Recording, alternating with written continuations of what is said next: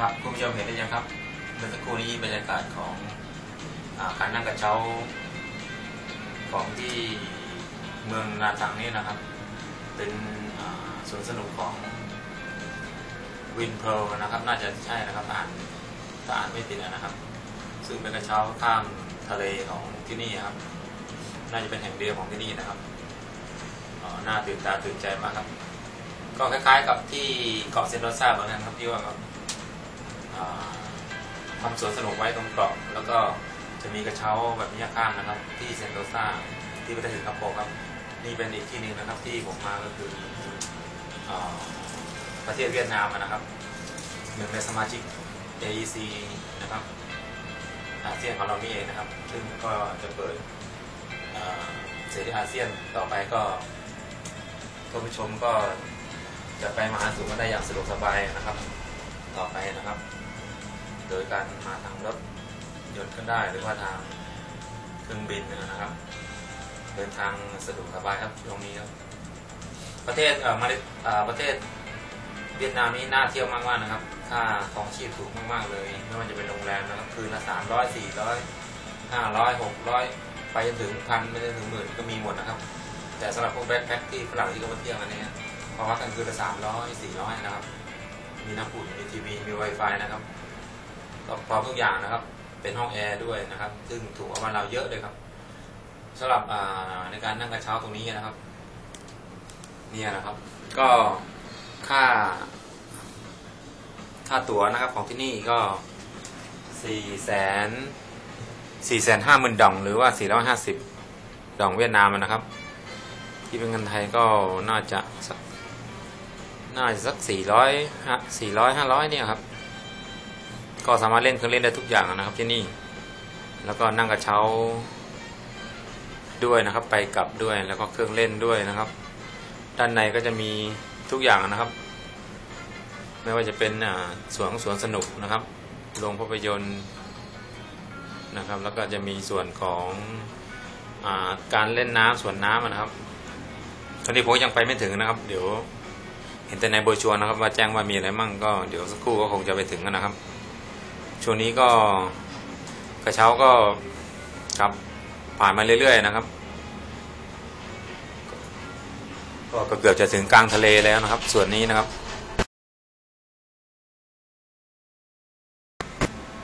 กระเช้าแคปซูลตรงนี้ก็ จะไม่เหมือนกับที่ที่ผมไปที่ตอนอเมืองเมืองดานังนะครับ กระเช้านู้นจะ คนละแบบคนละอย่างกันเลยช้าที่นู้นจะขึ้นภูเขานะครับ จะสูงแล้วก็มีมีเมฆมีหมอกนะครับ แล้วก็มีฝนตกส่วนที่นี่นะครับที่เมืองนาจังนะครับเขาเรียกหรือว่านาานานาตังนาตังนะครับ ก็เรียกได้หลายอย่างนะครับที่นี่ไม่น่าเชื่อนะครับ จะเป็นเมืองต่างอากาศของที่นี่ แล้วก็มี ชาวต่างชาติทางโซนยุโรปอเมริกานะครับ แล้วก็คนในเอเชียของเรามาเที่ยวอย่างมากมายนะครับจะเป็นเมืองตากอากาศที่แหมคล้ายๆ กับทางยุโรปเลยนะครับ บ้านเมืองเขาค่อนข้างที่จะสวยงามครับ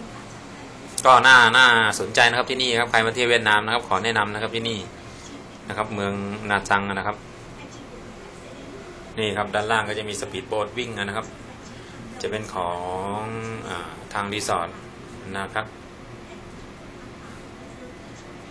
ตอนนี้ก็บรรยากาศเปิดดีครับ ชมบรรยากาศโดยรอบก่อนนะครับ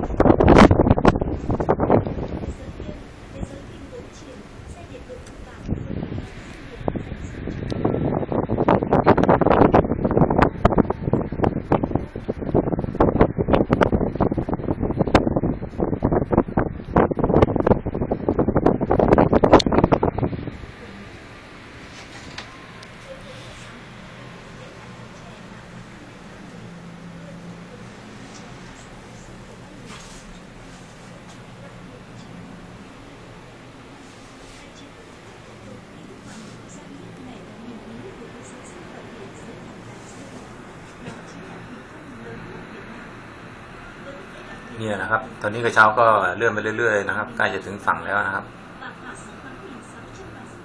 ทางด้านนู้นนะครับ เห็นไกลๆนู้นก็จะเป็นเขาเรียกอะไรครับ ล่มซึ่งใช้เรือลากคล้ายๆแต่พัทยาบ้านเราอะนะครับ ก็จะเป็นใช้เรือลากแล้วก็คนก็จะลอยขึ้นไปด้านบนนู้นนะครับนะครับนู้นบนภูเขาสูงๆนะครับ จะเป็นตัวอักษรของรีสอร์ทแห่งนี้นะครับ ซึ่ง ก็จะมีในส่วนของที่พักด้วยนะครับที่นี่ แล้วก็จะมีสิ่งอำนวยความสะดวกต่างๆนะครับ ให้กับคนที่เดินทางมาที่นี่นะครับสิ่งอำนวยความสะดวกสะดวกทุกอย่างนะครับ ไม่ว่าจะเป็นร้านอาหารห้องพักนะครับ แล้วก็การกิจกรรมทางทะเลสวนสนุกนะครับ ระว่ายน้ำนะครับ แล้วก็แหมน่าจะเป็นจุดชมวิวที่สุดยอดอีกที่หนึ่งนะครับที่ของที่เมืองอ่าประเทศเวียดนามนี่นะครับ เป็นแหล่งท่องเที่ยวที่ขึ้นชื่อของทางเวียดนามเองนะครับ เดี๋ยวช่วงนี้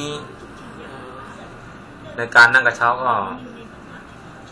ขอแต่ทำไว้แค่นี้ก่อนนะครับ เพราะว่าเป็นการอัดวิดีโอด้วยด้วยโทรศัพท์มือถือนะครับ ก็เดี๋ยวก็ติดตามชมช่วงต่อไปนะครับ